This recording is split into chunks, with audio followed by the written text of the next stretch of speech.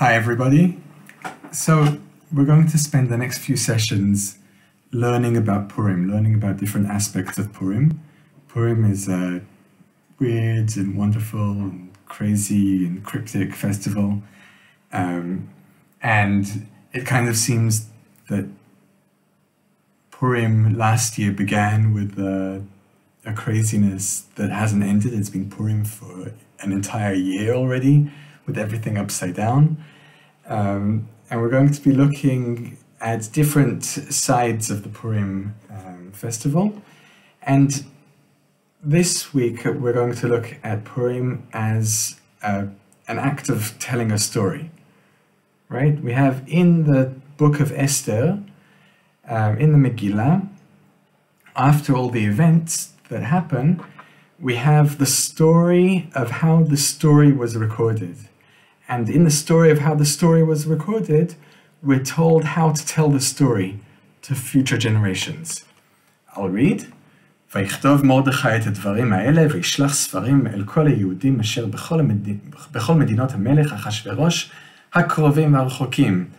Mordechai recorded these events and he sent dispatches to all the Jews throughout the provinces of King Ahasuerus, near and far, charging them to observe the 14th and 15th days of Adar every year. And then he tells the story of why, of what happened, um, and finishes they were to observe them as days of feasting and merrymaking, and as an occasion for sending gifts to one another and presents to the poor. The Jews accordingly assumed as an obligation that which they had begun to practice and which Mordechai prescribed for them. So we have him a few things. Um, first of all, we have three out of the four mitzvot, very explicit. Um, the four mitzvot of Purim, they all begin with mem, mem, mem, mem, mem. Um, three of them are mishteh, having a feast, mishloch manot, sending gifts to each other, matanot levyonim, sending gifts to the poor. But in the framework of this, we see the fourth mitzvah, which is Megillah, which is reading the story of what happened there.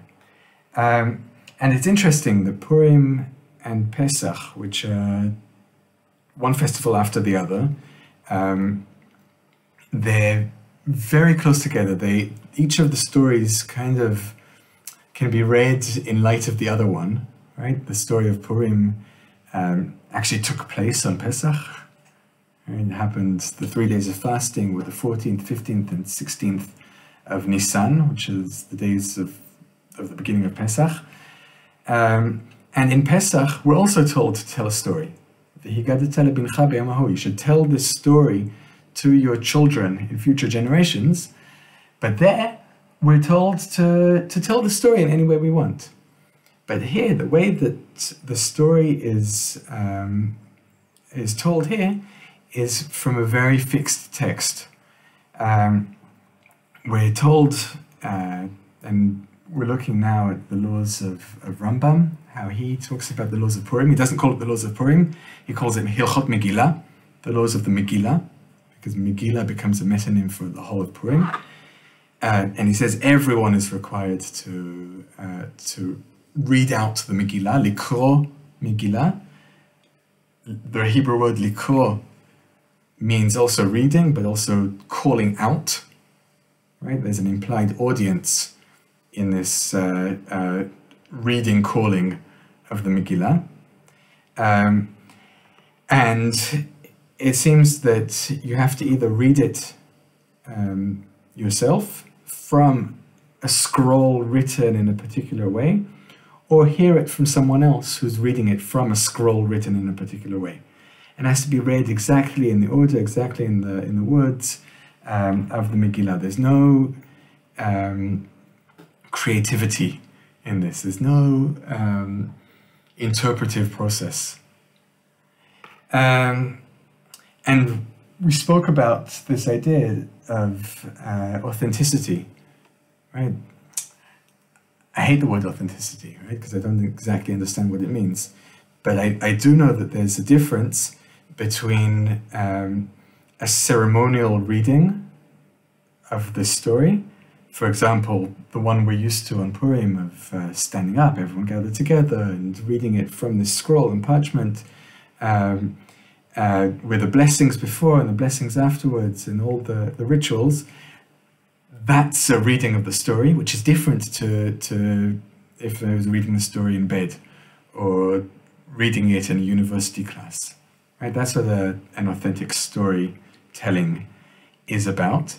What complicates it is that um, uh, although you're not allowed to read it by heart, if it's read out in Hebrew, you don't have to understand it.